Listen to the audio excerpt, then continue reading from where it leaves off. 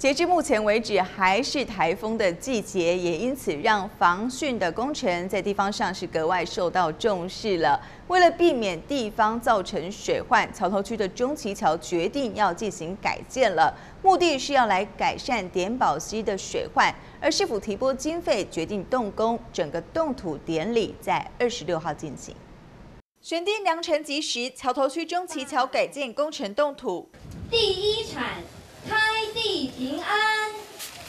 建于民国五十九年的中旗桥位于高三十四线上，是桥头及子关地区通往燕巢田寮的重要道路。由于通洪断面不足，桥墩裸露，常成为点宝溪排水瓶颈。市府编列约六千两百万元经费的改建工程，渴望大幅改善。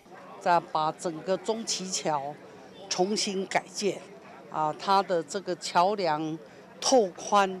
提高对于未来所有的这种洪水排洪量，这个会增加。